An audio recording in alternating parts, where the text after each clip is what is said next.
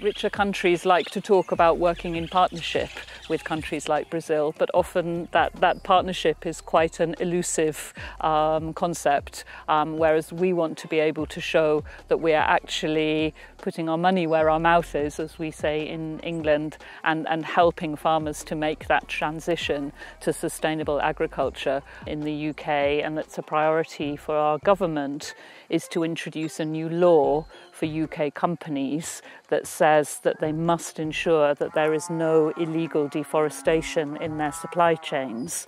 Um, we hope that this is a, a way of signalling partnership with Brazil because it's a way of supporting Brazil's own legal code.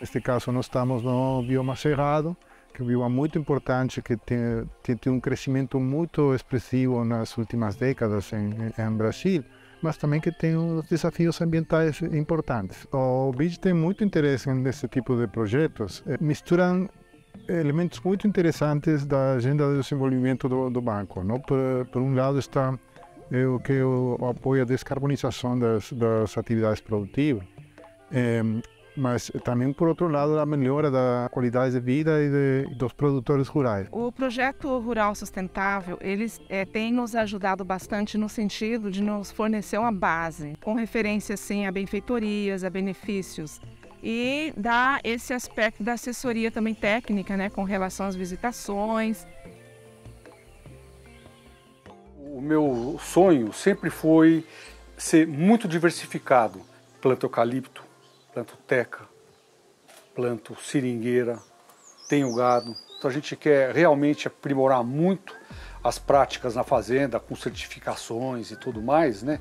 E tocar para frente, porque o nosso campo é imenso.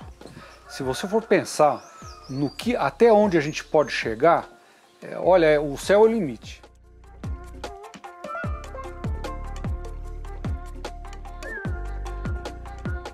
And today is the first day that we've seen a, a real demonstration unit. And I think I've been very um, impressed by the range of activities that are going on and uh, the kind of passion of the people that own this demonstration unit and their passion to share their experiences with other people. O estado do Amazonas hoje, ele é a região do mundo ah, com a maior extensão de floresta preservada.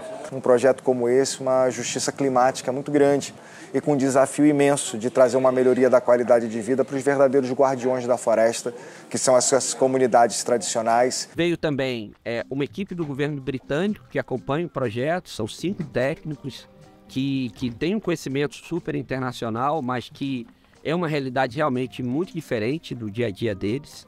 Veio a equipe do BIT, que acompanha o projeto, e também, é, em cada momento, a gente está aí envolvendo outros atores do governo do estado e, e principalmente beneficiários diretos e possíveis beneficiários.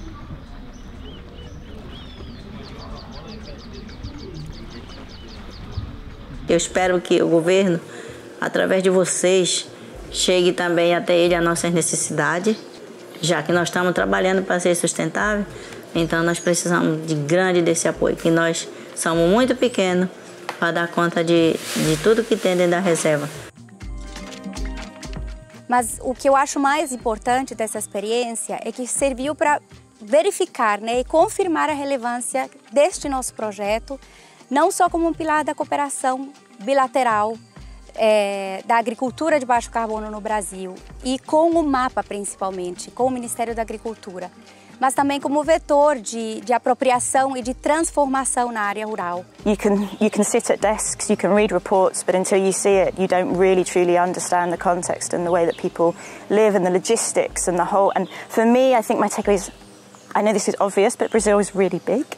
so you don't get that, I don't think, living in the UK.